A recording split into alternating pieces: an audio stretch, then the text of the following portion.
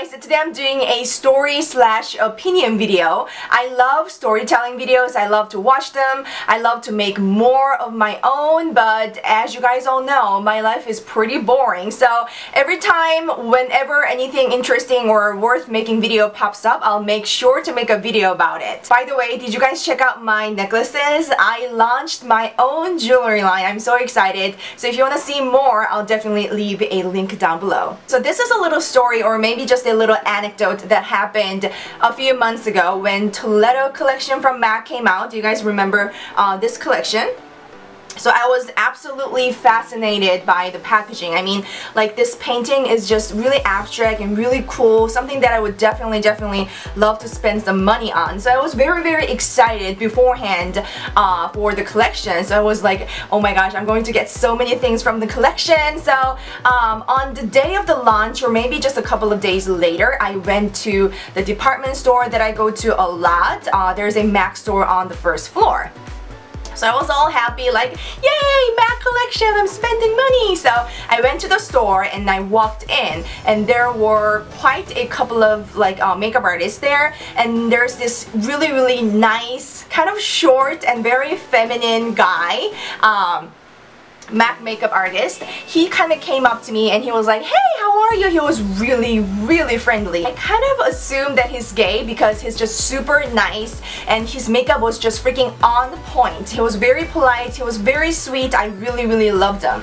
So he was like, oh, how are you? So what are you looking for? We have a new collection came out called Toledo. So he and I, we kind of chatted, we were talking about, you know, so many different makeup things and everything, and I wanted to try some lipsticks because uh, some of the lipsticks from uh, this Toledo collection was really, really pretty.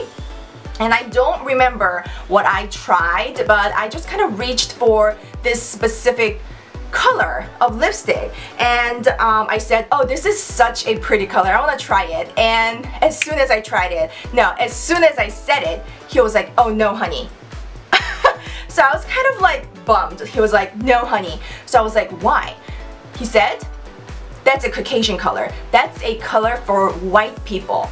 And I was like whoa, whoa, whoa, what's going on now? What are you saying? What, what, what are you talking about? You know, uh, I don't think that he's a racist or he was being offensive. Um, it's just, I don't know, like there may be some colors that suit better on certain races and certain complexions, but that absolutely made no sense to me. So I was like, what do you mean it's a Caucasian color? What do you mean it's a white people color? Everybody can wear anything, you know? And he was like, oh honey, no, it looks the best on white people. We're not white, so um, it's better to go for this color.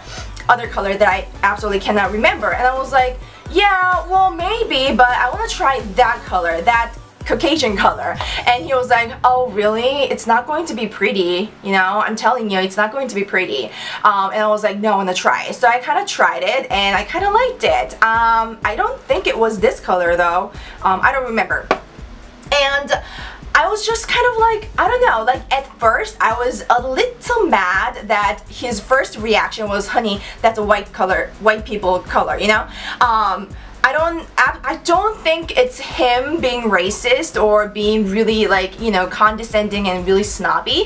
I think it's just his perception, like put in in the wrong way. And I think it's the education that makeup companies do to their employees. They may I don't know I'm not sure I'm not sure. I'm just saying maybe they're saying oh this is a color that suits best on certain people. This is the color that suits best on these kind of people. I don't know. I don't know what they do in the makeup companies in their like educational uh, programs, but it really made me mad. Not at him, but for, I don't know, the companies and the society and the media and everything. It makes me so mad. So, what do you guys think? I mean, I, I, absolutely don't get it. So, and I also think it's kind of like, I don't know, I, I think it's not right to say that this is a color for like Caucasian people. This is a color for Asian people. This is a color for black people, like Spanish people. I don't know. Also, I was slightly disappointed by MAC because, I mean, maybe that's just his, you know, own personal opinion, maybe not, I don't know, but MAC is one of the wildest and the most, like, free-spirited makeup companies out on the market, and um, I always look at the posters and, like, the lookbooks and everything from MAC, and I get so inspired. They're not afraid to use, you know, really, really vibrant, really, like, crazy, insane colors, and that's what I like about MAC, and for a um, MAC makeup artist to say something like that, oh honey, you can't wear this. I'm like, come on, you're MAC. You're supposed to be really awesome. You're supposed to be badass. And why are you being afraid of so many things? Maybe if you're a makeup beginner and you don't know nothing about makeup and somebody says, oh, that's a black people color. That's a white people color. You're Asian. You should wear this. Maybe that might not strike you as like, whoa, but I am kind of person who loves makeup, who loves to play with all sorts of different colors and textures and everything.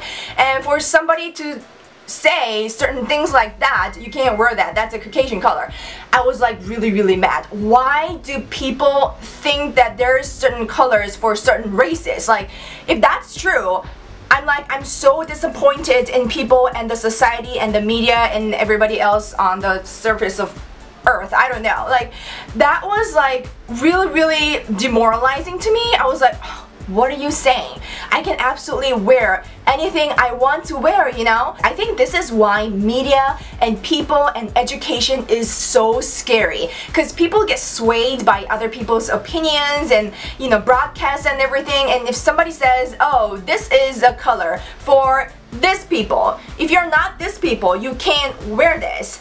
If you are a very opinionated person, then you can go and say, oh, you know, F you, I can do whatever I want. But I feel like majority of the people are like, oh, really? Oh, is that true? So they kind of go with that. So like this is how communism came out I don't know so um, if you ever think that there's a color that you cannot pull just because you're Asian just because you're I don't know black white whatever I mean, you're getting it wrong. You can absolutely rock any color you want as long as you mix it with the right colors, the right textures, and the right formula. You can absolutely rock whatever makeup you want. Maybe I'm a ballsy person when it comes to makeup. I try I don't get intimidated by vibrant and vivid colors. I get excited. So maybe that's because I'm like such a makeup addict. But even if you're not a makeup addict, even if you're just a regular, just a, you know, basic makeup wearer,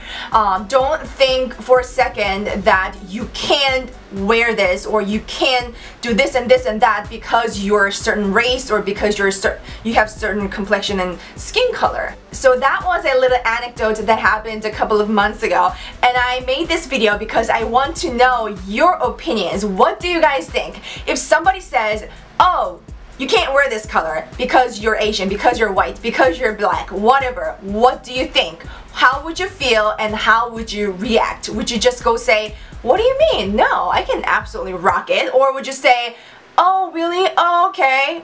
Or, I don't know, what do you guys think? Please let me know down in the comment section so we can exchange our opinions and just talk it out on the comment section. So, thank you guys so much for watching and I'll see you very soon in my next video.